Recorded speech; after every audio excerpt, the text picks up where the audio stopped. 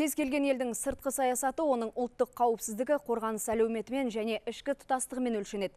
Ал дәл осы ел дамуын бағымдайтын үш бағыт Қазақстанның 2014-2020 жылдарға арналған сыртқы саясатының жаңа концепциясында көрсетілген. Мамандардың пікірінше сиясы кеппеген құжат еліміздің тұтастығын нығайтуға жол ашады.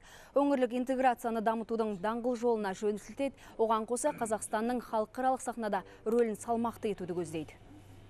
Осы тұжырымдамада мына орта азиядағы интеграцияға осы қарым қатынасқа мына ішкі және сыртқы қауіпке бірлесіп іс қимыл жасау жөніндегі жөнінде аса маңыз берілген.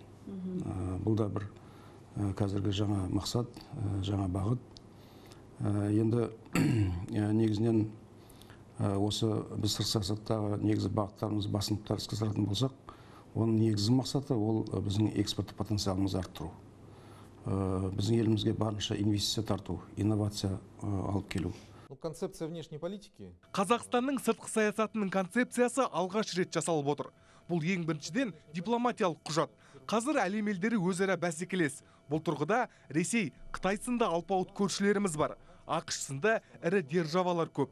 Сондықтан өзара бәсекеге төтеп беру үшін сыртқы саясаттағы есемізді жібермеуіміз керек. Ал жаңа концепция қазақстанның осы бағытта жұмыс істеуіне жол ашатын жүйелі құжат деуге болады.